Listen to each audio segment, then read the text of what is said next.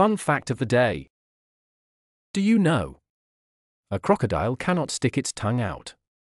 They have a membrane that holds their tongue in place on the roof of their mouth so it can't move. Subscribe Little Roar Club for more fun facts.